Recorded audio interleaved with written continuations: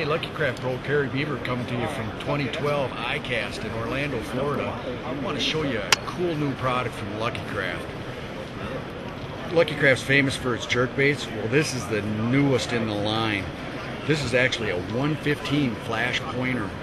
A couple of the, the real distinct features of this bait, notice it has a very small lip, a thin profile, and three hooks. Three hooks is really important on your jerk bait. It just adds to that hookup ratio. You just can't beat it when you stick them with more than one. And it's really important to have good, sharp hooks on your jerk bait because the fish so often slap at it. So you wind up skin hooking them somewhere in the face, and a good, sharp uh, Lucky Craft hook will keep them pinned on there. The other thing about this bait that makes it a little bit different than a lot of the pointers that we've had in the past is this one stays up high in the water column. And that is just critical, particularly when you're looking at staging fish in cold water where they're up in that three to five foot area, you don't want a crank or a jerk bait that just starts banging into the bottom right there. You want one that's a little more subtle, stays up a little higher in the water column, still has all the cool features of a, of a Lucky Craft that we come to expect.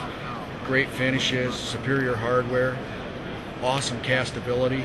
Check out the new Flash Pointer 115 at luckycraft.com.